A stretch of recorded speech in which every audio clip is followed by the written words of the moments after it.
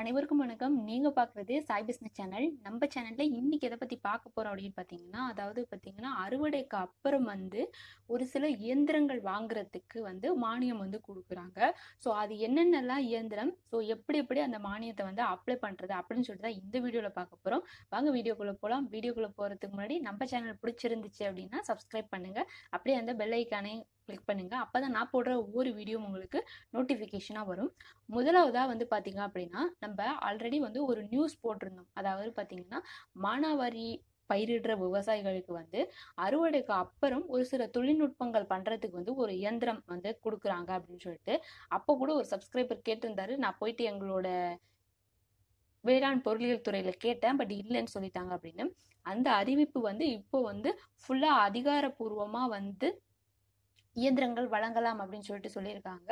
So அதை பற்றின முழு டீட்டெயில் தான் இந்த வீடியோவில் பார்க்க போகிறோம் ஃபஸ்ட்டு வந்து பார்த்தீங்கன்னா யாரெல்லாம் இதுக்கு எலிஜிபிள் அப்படின்னு பார்த்தீங்கன்னா நீங்கள் சிறு குறு விவசாயிகளாக இருந்தீங்க பெண் விவசாயிகளாக இருந்தீங்க அப்படின்னா இதுக்கு வந்து முக்கியத்துவம். ரெண்டு ஏ ஹெக்டர் வந்து விவசாயிகள் நிலம் இருக்கிறவங்க இதை வந்து நீங்கள் விண்ணப்பிக்கலாம். இதை வந்து பார்த்தீங்க அப்படின்னா உங்களுக்கு அதாவது நீங்கள் தனிநபர் விவசாயியாக இருக்கலாம் அப்படி இல்லை அப்படின்னா குழு விவசாயிகளாக இருக்கலாம். அப்படி இல்லை அப்படின்னா நீங்கள் மானாவாரி விவசாயிகளாக இருந்தீங்க அப்படின்னா முக்கியத்துவம். ஏன்னா அவங்க வந்து வானம் பார்த்த பூமி அப்போ மட்டும்தான் விவசாயம் பண்ணுவாங்க. மற்ற டைமில் அவங்க இந்த மாதிரி அதாவது அறுவடைக்கு நீங்க பொது பிரிவினரா இருந்தீங்க அப்படின்னா நாற்பது பர்சன்ட் மானியமும் நீங்க பெண் விவசாயிகள் இல்லைன்னா ஆதி திராவிடர் விவசாயிகளா இருந்தீங்க அப்படின்னா உங்களுக்கு ஐம்பது பர்சன்ட் வந்து மானியமும் கொடுப்பாங்க. இதற்கு வந்து தேவையான விண்ணப்பங்கள் பார்த்தீங்க அப்படின்னா உங்களோட ஆதார் கார்டு அப்புறம் வந்து பார்த்தீங்கன்னா சிட்டா பட்டா காப்பி அப்புறம் வந்து நிலை வரைபடம் அப்புறம் உங்களோட ஃபோட்டோ இது எல்லாமே எடுத்துட்டு போயிட்டு உங்க வேளாண் துறை மூலமா வந்து நீங்க இதை விண்ணப்பிக்கணும். நீங்கள் எப்படி விண்ணப்பிக்கணும் அப்படின்னு பார்த்தீங்க அப்படின்னா உங்களோட வேளாண் பொருளியல் துறை மூலமாக வந்து விண்ணப்பிக்கணும். அதாவது அக்ரிகல்ச்சர் இன்ஜினியரிங் டிபார்ட்மெண்ட் அப்படின்னு சொல்லுவாங்க. அதாவது இது ஒரு சில மாவட்ட மாவட்டமாக அந்த மாதிரி இருக்கும். அப்படி இல்லை அப்படின்னா ஒரு ஒரு வேளாண் துறையில் ஒரு டிவிஷனாக வந்து இந்த அக்ரிகல்ச்சர் இன்ஜினியரிங் டிபார்ட்மெண்ட் வந்து இருக்கும். அது மூலியமாக தான் நீங்கள் வந்து அப்ளை பண்ணணும். இது எப்படி அப்ளை பண்ணணும் அப்படின்னா நீங்கள் அந்த இயந்திரங்களை வாங்கிட்டு அதற்கான பில்லு கொட்டேஷன்லாம் வந்து ஃபர்ஸ்ட் சப்மிட் பண்ணணும். சப்மிட் பண்ண பிறகு அதற்கப்புறம் வந்து உங்களுக்கு அந்த நீங்க வாங்கியிருக்கீங்க இல்லையா அந்த அமௌண்ட்லேருந்து உங்களுக்கு நாற்பது பர்சன்ட் வந்து சப்சிடி வரும். இது வந்து உங்க பேர்ல வந்து ஒரு ஒர்க் ஆர்டர் மாதிரி வந்து வரும்.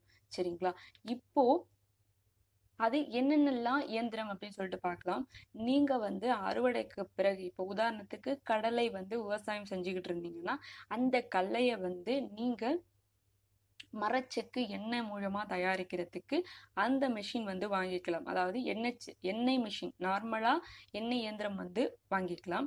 அடுத்தது வந்து பாத்தீங்கன்னா ராகியை வந்து தரம் பிரிக்கும் இயந்திரம். உதாரணத்துக்கு நீங்க ராகி விவசாயம் செஞ்சீங்க அப்படின்னா அந்த ராகியை வந்து அறுவடைக்கு அப்புறம் அதையும் நானே வந்து எடுத்து பண்றேன் அப்படின்ற அதாவது இப்போ விவசாயிகள் நீங்க உற்பத்தி பண்ணிட்டு பொருளை வந்து கைமாத்துறப்போ நமக்கு வந்து விலை அதிகமா கரெக்டான விலை வந்து கிடைக்கிறது இல்லை ஸோ நம்மளே அறுவடைக்கு அப்புறமும் அந்த தொழில ஈடுபட்டோம் அப்படின்னா நமக்கு கரெக்டான விலை வந்து கிடைக்கும் அப்படின்ற நோக்கத்தோட தான் இந்த ஸ்கீமு இதுல வந்து இப்போ என்னென்ன இயந்திரம்லாம் அப்படின்னு சொல்லிட்டு நான் ஒன்று ஒன்றா சொல்றேன். ஃபர்ஸ்ட் வந்து பார்த்தீங்கன்னா எண்ணெய் செக்கு அப்புறம் வந்து ராகி தரம் பிரிக்கிற இயந்திரம் அப்புறம் வந்து மாவு அரைக்கும் இயந்திரம் அப்புறம் மாட்டு தீவனம் அரைக்கும் இயந்திரம் தேங்காய் மட்டை வந்து உரிக்கிற இயந்திரம் அப்புறம் வந்து மறுபடியும் மரச்செக்கு. அந்த செக்கிலே வந்து மூணு விதமான உங்களுக்கு இயந்திரம் வந்து கொடுக்குறாங்க. இதில் வந்து உங்களுக்கு ரெண்டு ஹெச்பிலேருந்து டென் ஹெச்பி வரைக்கும் ஒரு ஒரு இயந்திரமும் அதோட பவர் வந்து மாறும். நீங்க எதை பொறுத்து வாங்குறீங்கன்னு இருக்குது. இதற்கு வந்து பாத்தீங்க அப்படின்னா ஆன்லைன்ல விண்ணப்பிக்கிற முறை வந்து இன்னும் வந்து புதுப்பிக்கல. நீங்க உங்களோட அக்ரிகல்ச்சர் இன்ஜினியரிங் டிபார்ட்மெண்ட்ல போயிட்டு அதை வந்து விண்ணப்பிச்சு அதற்கப்புறமா தான் இது வந்து உங்களுக்கு கிடைக்கும். ஸோ நீங்கள் உங்களோட வேளாண் பொருளியல் துறையில் போயிட்டு அணுகி இந்த விண்ணப்பத்தை வாங்கி ஃபில் பண்ணிட்டு கொடுக்கலாம். ஒரு ஒரு மாவட்டத்துக்கும் வந்து பார்த்தீங்கன்னா ஃபண்ட் அலோகேஷன் இருக்கிறப்ப சீக்கிரமாக கிடச்சிரும். அப்படி இல்லைன்னா இந்த வருஷம் நீங்கள் அப்ளை பண்ணீங்க அப்படின்னா உங்களுக்கு எப்போ வந்து ஃபண்ட் அலோகேஷன் உங்கள் மாவட்டத்துக்கு அதிகமாக இருக்குதோ அப்போ தான் வந்து கிடைக்கும். சரிங்களா? ஸோ இதை வந்து நீங்கள் உங்களுக்கு பிடிச்ச இயந்திரத்தை வந்து நீங்கள் வாங்கிக்கலாம். அதோட விலை வந்து நார்மலாக வந்து கடைகளில் வந்து எவ்வளோ இருக்கணும் அப்படின்னு சொல்லிட்டு கவர்மெண்ட் வந்து ஒரு அறிவிப்பு சொல்லியிருக்காங்க.